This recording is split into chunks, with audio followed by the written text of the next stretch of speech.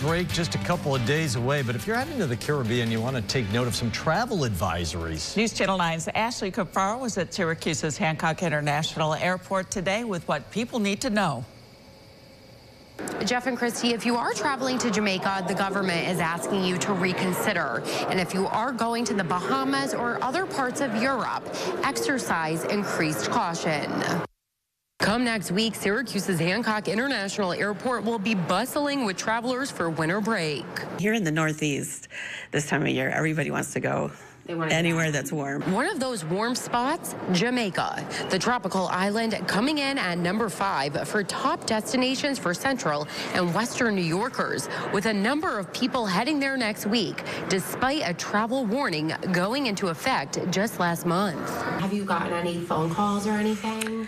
Um, just uh, when the when the advisory uh, first came out, maybe one or two.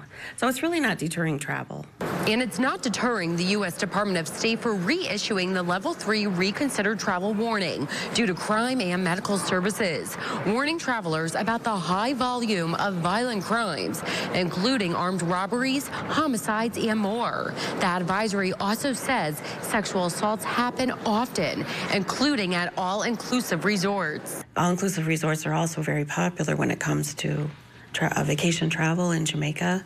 So it, it raises a measure of concern. So what measures should you take if you are heading to the tropical island or other destinations on the travel advisory list? The government says research the country you are going to, ensuring you understand the local law. Also find out what health insurance is covered in case you come across a medical emergency. Common sense is really key no matter where you're traveling. So you don't want to wander off into unknown regions alone. Uh, safety in numbers. Um, the wee hours of the morning, you know, we have to be careful about where we are and, and uh, who we're with.